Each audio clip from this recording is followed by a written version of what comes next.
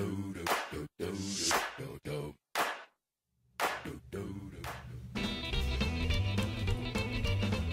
to save some fluids. Oh my god! Oops! Clean up here. Why is this not working? Guys, Indian Billy Mays here, and I got a treat for you today. Long gone are the plastic towels of the past. Introducing for you today, paper towels. And before I show you how well this works, let's have a word from our local scientist, Amir Guy the Basrai.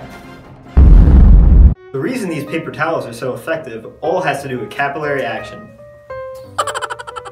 When water molecules come into contact with a solid surface, the molecules at the surface of the water have two major forces acting on them. A cohesive force, pulling the surface molecules down towards the rest of the water, and an adhesive force pulling the surface molecules towards the solid surface. The cohesive force is equal to the weight of the water, while this adhesive force is equal to the surface tension of the water times the contact length between the solid surface and the water. If the upwards adhesive force becomes greater than the downwards weight of the water, the, the water overall begins to rise.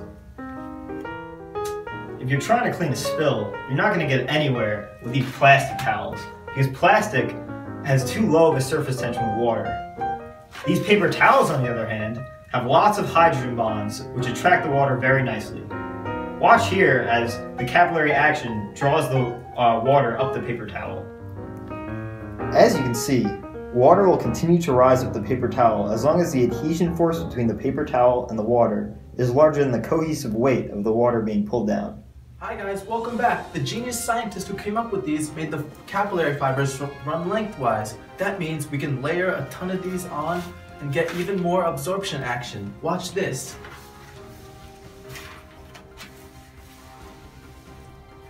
Remember kids, the thicker the towel, the wetter the wipe. Wait, so if that explains how materials like sponges and paper towels absorb water, then why do I have two sponges in my kitchen? Good question. Well, it has to do with what the sponges are made out of.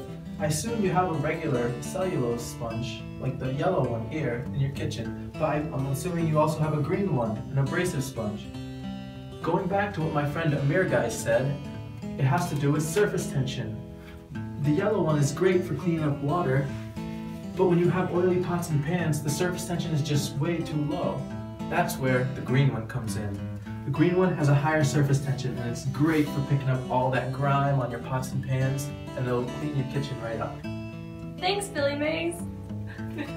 You're welcome. Now you can have this amazing invention for just three payments of $19.99. But wait, there's more.